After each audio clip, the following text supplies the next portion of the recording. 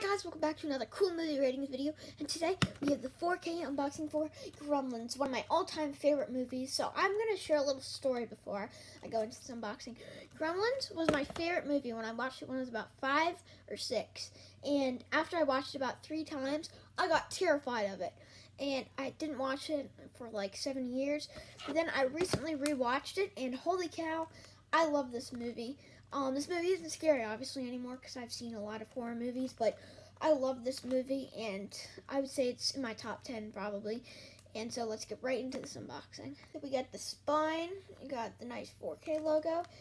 Um, I can't tell if you'll see it from that, but it's a Warner Brothers release. Warner Brothers does okay releases, but I must say, this didn't come with a slipcover. That's kind of sad, but I love this art. Um, this Gremlins art with Gizmo looks super cool. Got the nice pictures from the movie. You can read the description there. You got the special features. I've already watched a documentary on Gremlins.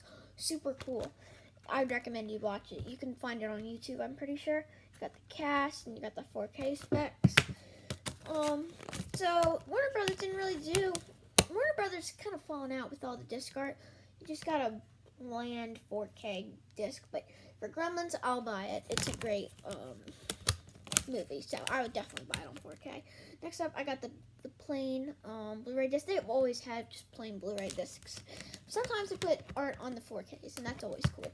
But that's it for this short unboxing. Thank you guys so much for watching. If you haven't seen Gremlins, I'd recommend you watch it this October or this December, because it is a Christmas movie, and I might say it's my favorite Christmas movie. Thank you guys so much for watching this unboxing. I'll see you guys later. Bye, guys!